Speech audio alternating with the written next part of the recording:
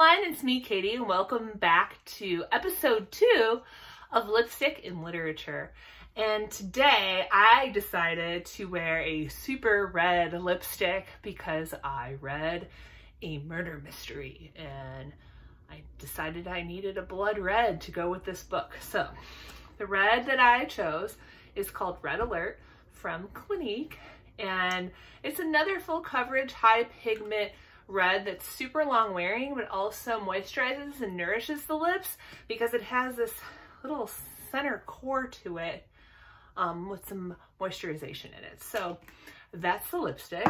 And this book was awesome. It's called Emma in the Night by Wendy Walker.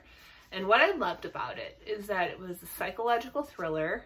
So who doesn't love that? That's trending right now. It had a lot of twists and turns and I wasn't able to predict the ending at all, which I think makes for a really great book. Um, I mean, even in the last 20 pages, it just kept turning and I'm like, all right, this is great. So it was edge of the seat, super suspenseful, really well done. Thumbs up, Wendy Walker. You did a great job. And I highly recommend that you pick it up. Um, and then thanks so much for watching. And if you love this lipstick, click my link so you can get it for 20% off with any other Clinique purchase that you buy. And I look forward to seeing you guys soon. Bye.